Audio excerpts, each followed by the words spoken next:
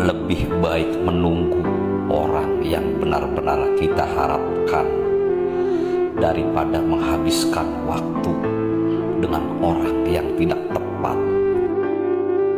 Tak peduli seberapa banyak orang yang senang menggosipimu, cukup diam dan dengarkan saja.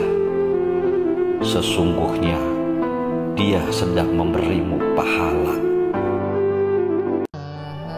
Orang yang beneran baik tidak akan menghakimi yang belum baik. Orang yang beneran ikhlas tidak akan mengungkit-ungkit yang sudah lewat. Orang yang beneran kaya tidak akan merendahkan yang masih miskin. Merendahkan orang lain tidak membuat kita lebih tinggi, justru menistakan diri sendiri.